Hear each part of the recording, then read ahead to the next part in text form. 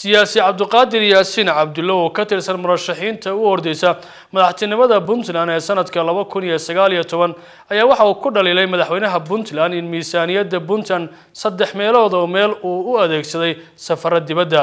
Waxaad moodaa in marka baahidu ay aada iyo aada u badan tahay laakiin dowladdu aanay arago iska indhatirin waxaana sabab u noqonaysaa dee haddii aadanba wadankii ka warqabin oo aadan ku soconin oo aadan mas'uul baa tahay diniyan kan baahida qaba ilmaha gaajoonaya adaa mas'uulka ah.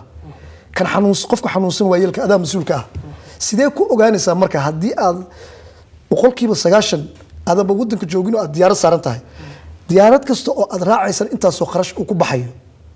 Ma garata puntland miisaaniyaddeeda marka saddex loo dhigo hal meel waxay ku baxdaa madaxtooyada.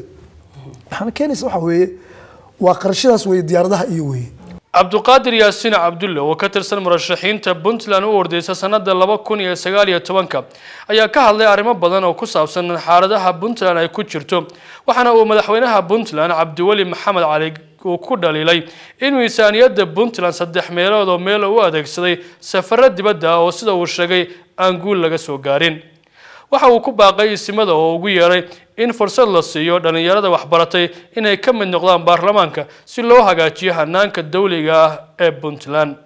Baaq baan waxaan u dirin lahaa isimada reer puntland.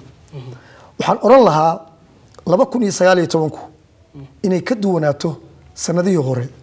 Waayo puntland waxay jirsatay labaatan sano. Meesha ay maanta taagan tahayna meeshii la rabay ma aha. Sababaha keenayana waxay tahay waa nidaamka wax lagu soo doorayo. Waayo nidaamkii kow marka u horeysaa waa in la soo dooraa dadka baarlamanka ay ay yihiin dad garashadeedii kow leh.